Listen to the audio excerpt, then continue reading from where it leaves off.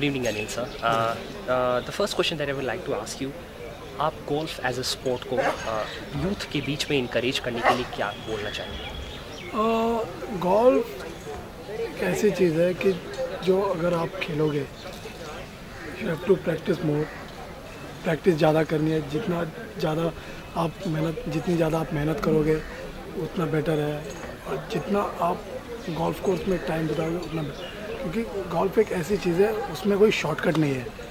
You have to go step by step आपको step by step ही जाना पड़ेगा। तो आप उसमें, आप सोचोगे नहीं, एक घंटा बॉल मार लिया, जाके एक राउंड खेल लिया, ठीक। लेकिन आपको फिटनेस प्लस मेडिटेशन और ये सब चीज़ की बहुत ज़रूरी होती है। हाँ गोल्फ में काफ़ी फोकस की ज़रूरत होती है। तो आप हमारे इंडिया के यूथ को क्या बोलना चाहेंगे क्या एडवाइस देना चाहेंगे ताकि वो उस स्पोर्ट में अच्छा कर सकें? जैसे यूथ को अगर इस गोल्फ को अपने profession as a profession choose करना है तो और ये गेम काफ़ी फोकस वाला गेम है तो आप यूथ को क्या बोलना चाहेंगे ताकि वो अपने करियर को इस प्रोफेशन के साथ जोड़ सके? जैसे अभी ये गेम जो है इसमें आपका दिम, आपका दिमाग एकदम स्टेबल होना चाहिए। अगर स्टेबल नहीं है तो आप ये गेम खेल नहीं सकते आपको जितना मेंटली स्ट्रांग हो सकते हो, उतना बेटर है। और उसके लिए आपको जाके योगा करो मेडिटेशन जैसे फिजियो फिटनेस ये बहुत ज़रूरी है। तो जितना हो सके आप फिटनेस पे ध्यान दो मेडिटेशन करो, और जितना हो सकता है लोगों से प्यार से रहो।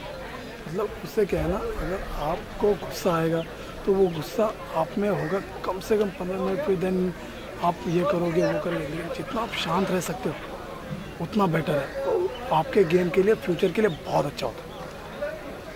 गोल्फ इंडिया में अभी भी लोग इसे एक, क्लास का गेम समझते हैं। अगर इसे मास गेम बनाना हुआ तो आप क्या बोलना चाहेंगे में? देखो सीधी सी बात है जब तक क्रिकेट है आजकल लोगों को पता है क्रिकेट आप कहीं पे भी खेल सकते हो। लेकिन गोल्फ आप कहीं नहीं खेलते। गोल्फ के लिए एक प्रॉपर ग्राउंड होना ज़रूरी है। हाँ, तो जब तक लोगों में ये बात नहीं फैलेगी कि गोल्फ इट्स अ करियर का सबसे बेस्ट गेम है कि क्रिकेट 11 प्लेयर्स का गेम होता है। गोल्फ एक प्लेयर है।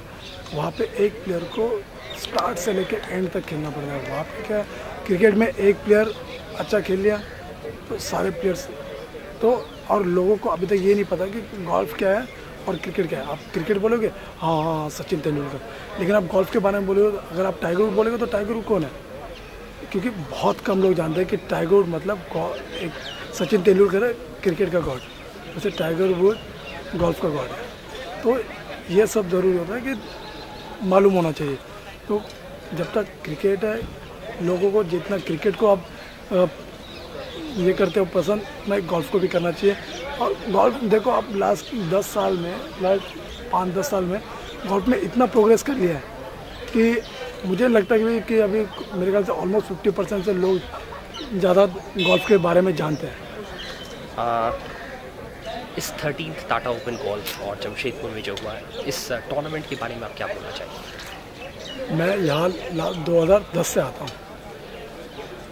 इस साल good organize good greens good fairways Beldih के गुलमोरी के गुड फैसिलिटीज़ मतलब इस साल हर साल इनका फैसिलिटीज़ बहुत अच्छा होता है और इस साल उससे भी बढ़कर। था न्यू ईयर आने वाला है आप हमारे यूथ ऑडियंस को क्या बोलना चाहेंगे?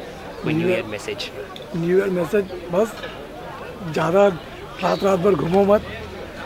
न्यू ईयर बनाओ लेकिन फैमिली के साथ जैसे फैमिली के साथ क्योंकि आजकल न्यू ईयर ऐसे बनता है कि न्यू ईयर जितना फोकस जितना सेफ़ रहोगे, उतना बेटर है। डोंट ड्रिंक एंड ड्राइव ज़्यादा अल्कोहल पियो मत, ज़्यादा ये करो मत, और जितना हो सकता है फैमिली के साथ न्यू ईयर बनाओ happy new year thank you thank you Anil sir thank you